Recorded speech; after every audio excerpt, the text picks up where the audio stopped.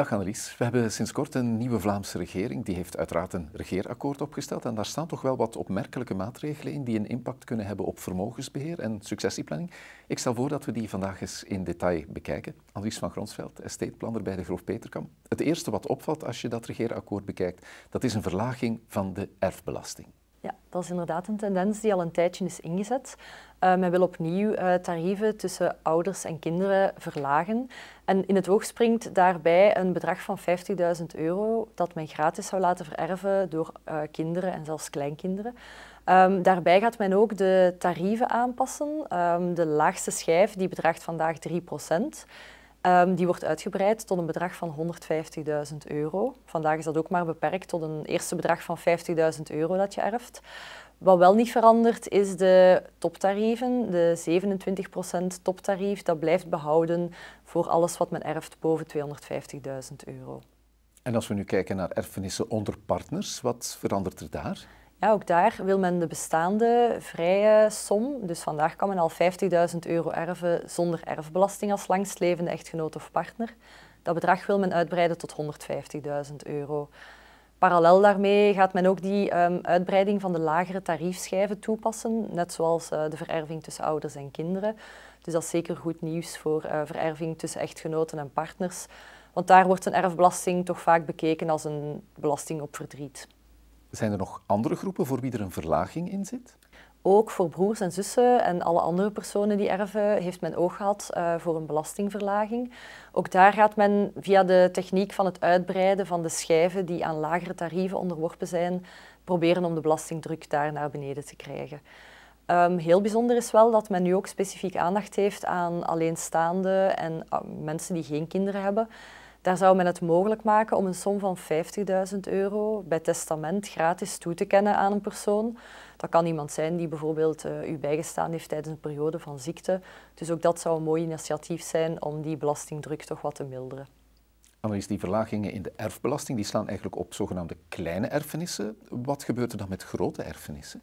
Ja, men mag de impact van die voorgestelde maatregelen om de belasting te verlagen ook niet overschatten.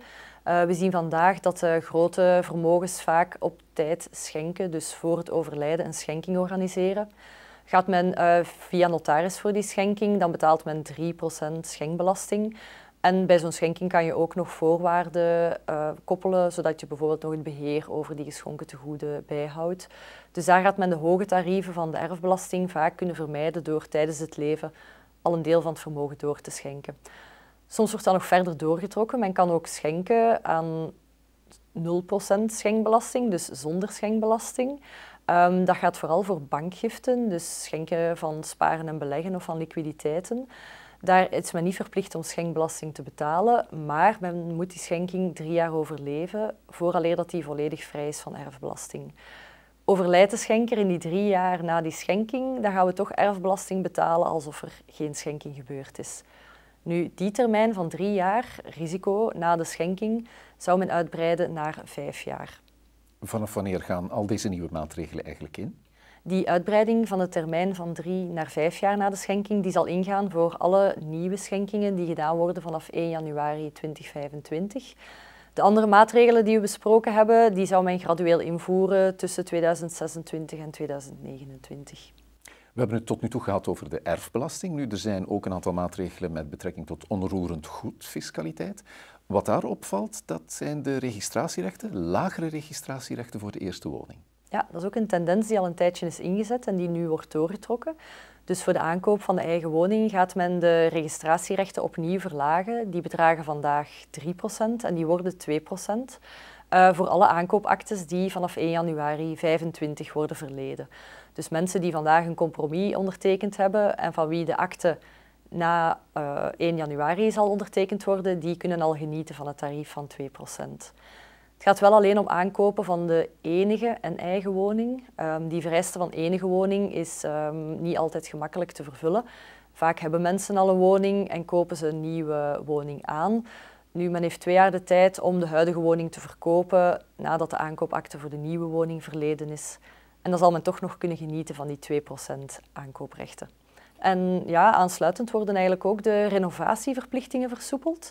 Ook een opmerkelijk voorstel. Uh, men zou die behouden op een EPC-score D, dus woningen met score E en F moeten gerenoveerd worden tot score D, maar men gaat dat niet verder verstrengen naar B of A. En ook de periode waarin de renovaties zullen moeten gebeuren, wordt uitgebreid van vijf naar zes jaar. Dat is toch het plan dat voor ligt. Alex, ook in Wallonië is er een nieuwe regering aangetreden. In het Waals gewest, in het regeerakkoord, worden ook maatregelen vooruitgeschoven rond fiscaliteit. Wat moeten we daar onthouden?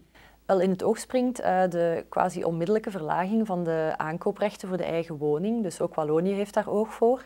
Uh, vandaag betaal je nog 12,5% aankooprecht als je je eigen woning aankoopt. En dat wordt verlaagd naar 3% voor aankoopactes die vanaf 1 januari 2025 verleden worden. Dus dat is wel een opmerkelijke daling van de fiscale druk. Men spreekt daar ook over aanpassen van schenk- en erfbelasting. Uh, men zou zelfs zover gaan om de tarieven van de erfbelasting te halveren, uh, waardoor in Wallonië nog een toptarief van 15 procent um, successierecht zou overblijven in de vererving tussen ouders en kinderen of tussen echtgenoten. Um, daar is het minder duidelijk wanneer die um, wijzigingen exact zullen doorgevoerd worden. Men kondigt die ook aan tegen 2028. Um, het is wel wat opmerkelijk, want ook het Waalse gewest kampt natuurlijk met budgettaire problemen. Dus uh, we zullen zien in welke mate dat de wijzigingen effectief doorgevoerd zullen worden. Alice van Grosveld, bedankt voor jouw toelichting. Ik onthoud vooral dat er veel wijzigingen op til staan, zowel in de vastgoedfiscaliteit als in de fiscaliteit voor de successieplanning. En dat men dus maar beter eens langs gaat bij een expert van de Groof Peterkam.